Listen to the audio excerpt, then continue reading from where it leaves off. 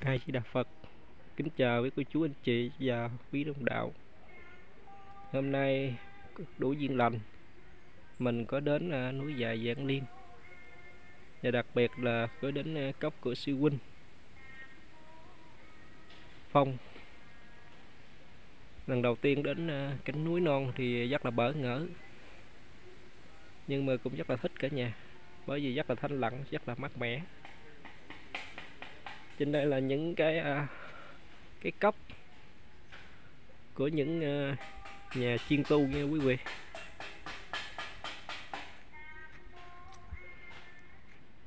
Trên đó thì mình có thấy cái cốc của đây là cái nhà mình.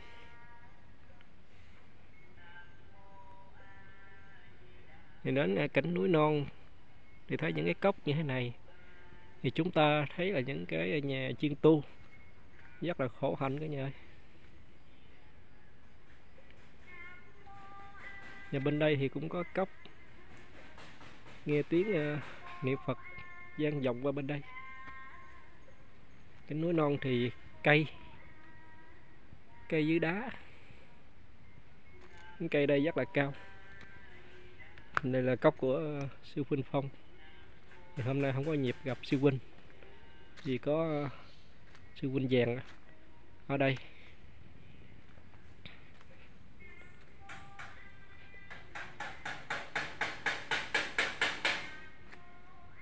Đến cạnh núi thì à, bạc ngàn cây rừng xa thì chúng ta nhìn thấy bao la. Cánh núi non hùng vĩ.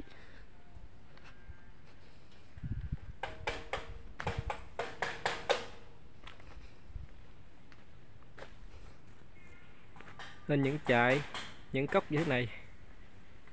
Thì cảm giác rất là thích thú ở nhà mình. Đến ờ, cảnh núi non. Ở trên chúng ta nhìn xuống ờ, những cánh đồng thì thấy rất là bao la. Và trong qua những cái chim chiêm ngưỡng những cái ngôi núi bên cạnh cái nhà mình. Đây không gian rất là thanh lặng đây chúng ta thấy bản nè, nam mô a di đà phật. Đây là một cái góc để mà ngồi về thuyền bật ngồi tĩnh niệm. Chắc là tuyệt vời luôn, không có gì bằng cả nhà ơi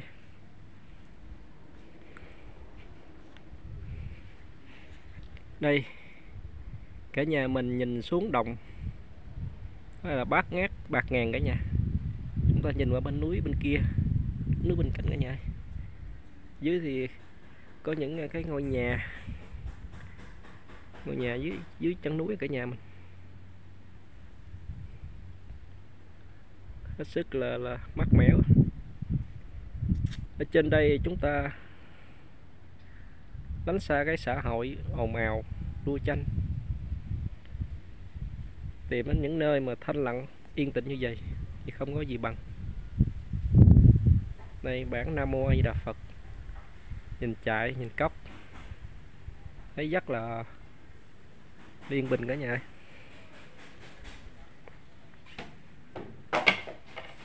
đúng là núi non hùng vĩ. Bạc ngàn.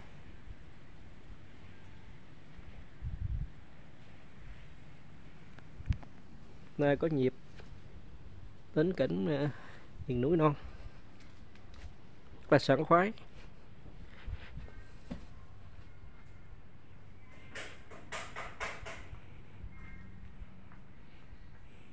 Rất là nhiều cái chữ nam mô a di đà phật.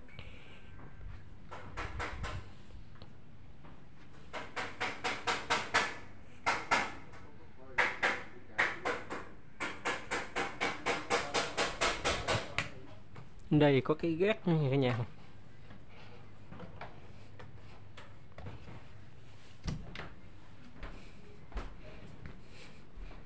Đây thì được gọi là chạy hoặc là cốc.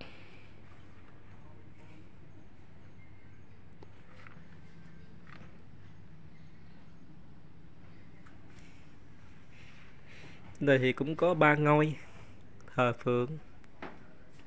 Ngôi tam bảo, hai bên là chân dung đức tôn sư để chiêm ngưỡng hàng ngày.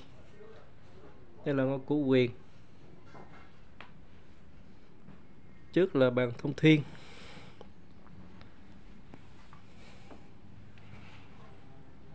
Rất là đẹp. Đây mà chiêm ngưỡng phong cảnh thì không có gì bằng cả nhà. Rất đẹp. Nam mô a di đà phật. Sư kiên hôm nay nấu cơm. Tự giới thiệu gì giới thiệu chức gì lớn đúng không. Vậy cũng giới thiệu.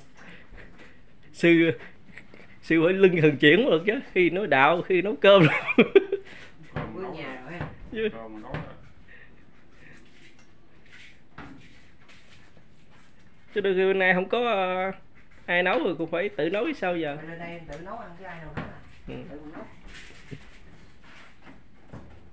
Tự đi tự diễn Chứ mình tự mình nấu mình làm ăn có gì đâu.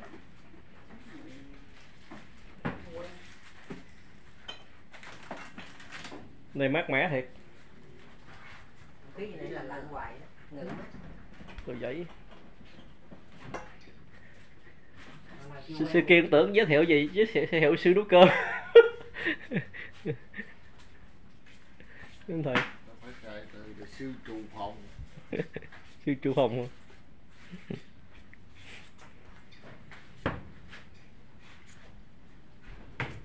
rồi mướp nấu gì à, sư huynh nấu ờ, nấu canh Canh, ừ, sáng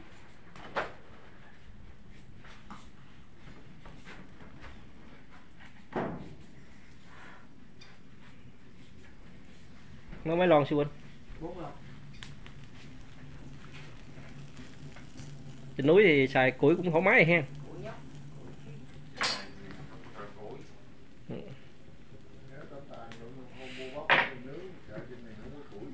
trên gì hả?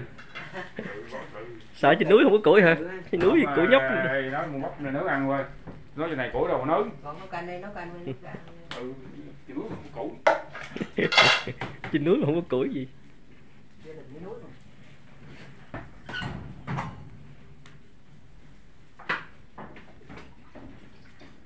bạc vàng.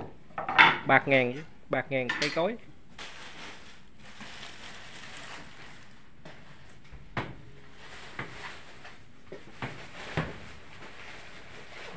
Xung quanh đây cũng thấy nhiều nhiều trại ha nhiều cốc á. Ít ít. Rồi đâu mà nguyên ngũ hồ đâu Ừ. ngũ hồ đâu cứ thằng rác cũng qua ngũ hồ thằng thái lên Ừ. thái đây tiền giang á bên bên ờ, để để thấy là ở Ngũ hồ hả nó nó nó ừ.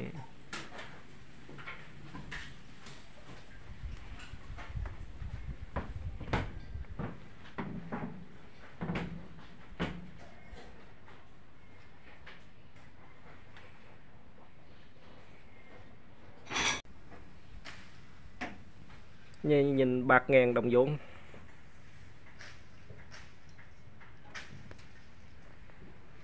nãy ông thầy nói bên đó là núi gì ông thầy?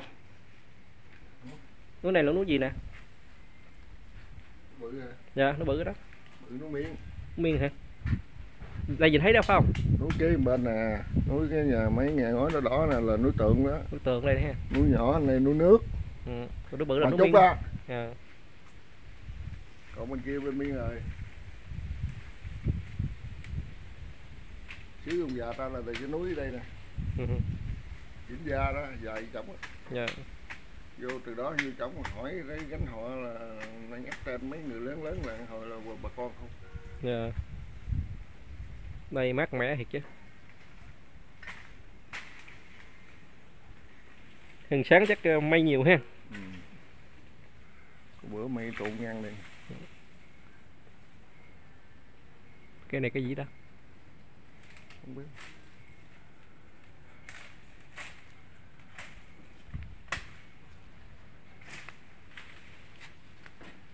đây có cái gì cái giọng cũng được quá chứ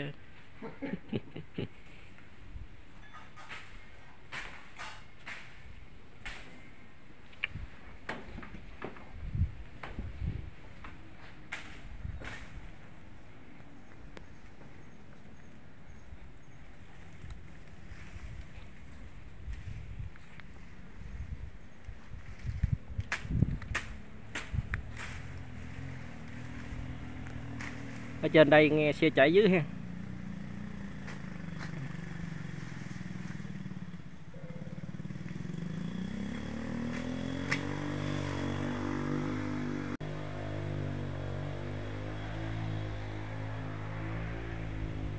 Này quá mát cả nhà.